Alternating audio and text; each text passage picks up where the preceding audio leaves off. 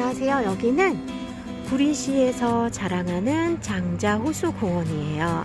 아파트 단지를 따라 가운데에 연결되어 있는 장자호수공원은 한강으로 연결이 돼요. 그래서 산책하기에 꽤 괜찮은 코스이고요.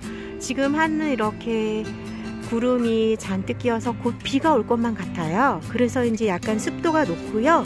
덕분에 나무 향기와 풀 향기가 진하게 느껴지네요. 여기에 세이크로바가 많이 있네요. 세이크로바는 행복을 이야기 뜻하는 꽃말을 가지고 있죠. 이렇게 흔한 행복을 우리는 소중한 행복을 놓치고 살아가지 않나 이런 생각을 많이 해요. 네이크로바인 행운만을 찾아 우리가 살진 않나. 근데 더 소중한 우리는 행복하기 위해 살잖아요. 그렇게 얘기하면 세이크로바가 더 소중하다는 이야기 많이 들어보셨을 것 같아요. 이렇게 산책을 하시다 보면은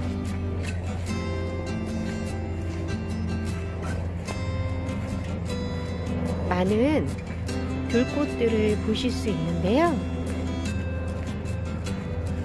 예쁜 꽃도 피어져 있네요.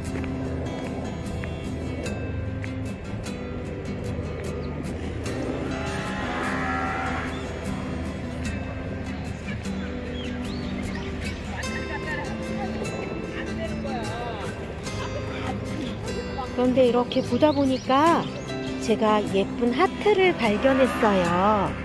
예쁜 꽃이 아닌 어떻게 보면 내가 어떤 눈으로 바라보느냐에 따라서 세상이 달라 보이는데 저는 여기서 예쁜 하트를 발견했어요. 이름은 모르겠지만 하트들이 모여서 세 개의 하트가 모여서 한 입이 되었네요. 혹시 이 풀의 이름을 아시나요? 오, 굉장히 많아요. 여기도 있고요. 야, 세상이 이렇게 하트로 사랑으로 가득 찬다면 얼마나 좋을까요?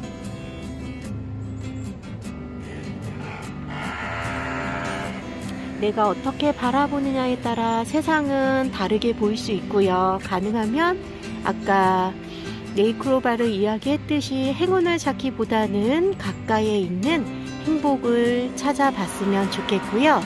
하트 스마일 명상을 좀 알려드릴까 해요.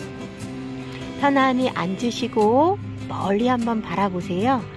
그리고 이제 자세를 바르게 척추를 똑바로 세우시고 입꼬리를 살짝 위로 끌어올려 봐요.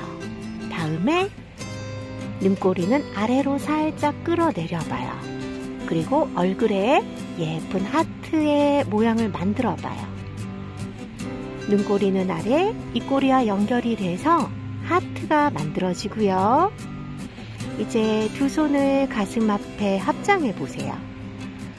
가슴 앞에 따뜻한 기운이 채워지고 이 하트가 이제 눈꼬리를 따라 가슴 아래까지 쭉 이어져요. 내 가슴이 따뜻해지고 편안해지고요. 내가 원래의 나로 사랑이 많고 자비로운 원래의 나로 돌아가요. 깊이 호흡할수록 호흡은 편안해지실 거고요. 내 가슴에는 따뜻한 사랑의 에너지로 채워질 거예요. 다음에 또 만나요. 저는 공경 강사였습니다.